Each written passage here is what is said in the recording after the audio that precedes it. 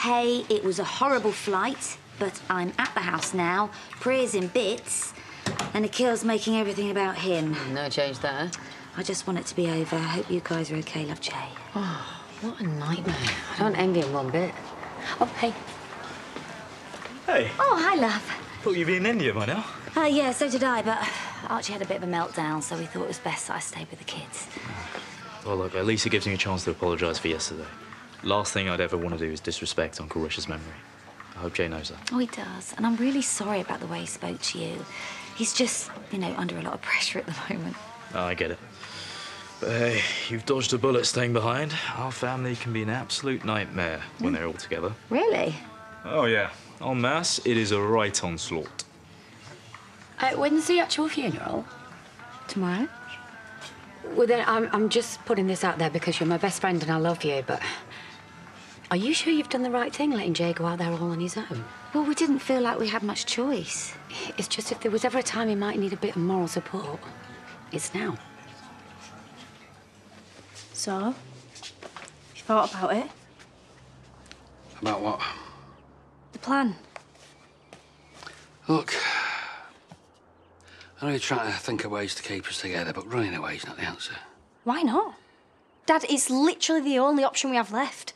It's not that simple. We wouldn't be able to lead normal lives. We'd have fake names, no bank account, no jobs. And your future would be completely wiped out. It'll be worth it. What about Esther?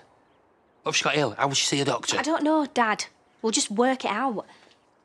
At the end of the day, we're not the kind of people who run away. We won't survive. We're not really the type of people that'd survive prison. Have you actually thought about what it's going to be like in there? It's difficult to think about anything else. So why are you choosing it over us? Oh, there's seats available on a flight this afternoon from Manchester. What time? 5.30, so you'll need to be in the airport around 3-ish.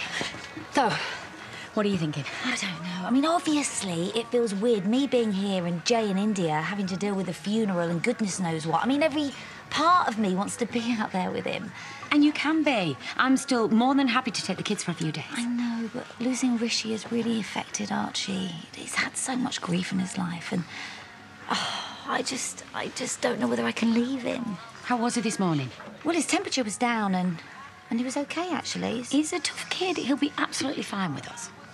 Okay, I'm going to talk to Archie. If he's okay with it, then looks like I'm going to India.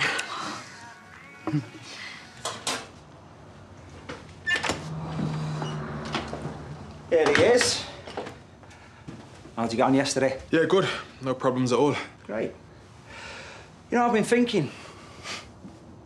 You were right about blackmailing me into giving you this job. Was I? Yeah. yeah it shows initiative. What do you make of Cody? Seems all right. Yeah. No, I can't make my mind up about him. See, the previous owner, he reckoned that he might be up to no good. I wouldn't know. I want you to keep an eye on him for me. You report back if you notice anything, yeah? I didn't see this in my job description. No, it's not. But it's a perfect opportunity for you to gain my trust. And if you do a good enough job, we'll see about raising your wages.